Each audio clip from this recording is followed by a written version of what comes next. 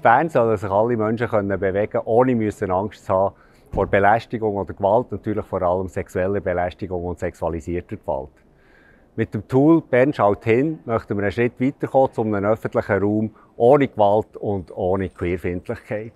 Wenn ihr euch alle aber daran beteiligen, dann sind wir natürlich noch viel schneller unterwegs auf dem Weg zu einem gewaltfreien öffentlichen Raum.